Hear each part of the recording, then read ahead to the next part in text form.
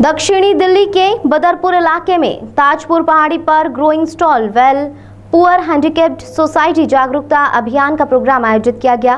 Programme आयोजित हुई Mohammad Shafiq vice secretary Delhi प्रदेश उपाध्यक्ष हरिराम दयामा के नेतृत्व में प्रोग्राम के चीफ गेस्ट रहे। सभी पदाधिकारी एक दूसरे को फूल मालाओं के साथ स्वागत किए। प्रोग्राम में मौजूद सभी मेंबर सक्रिय होकर हर गरीबों तक सभी सुविधाएँ पहुँचाने का काम करना सुनिश्चित किया गया।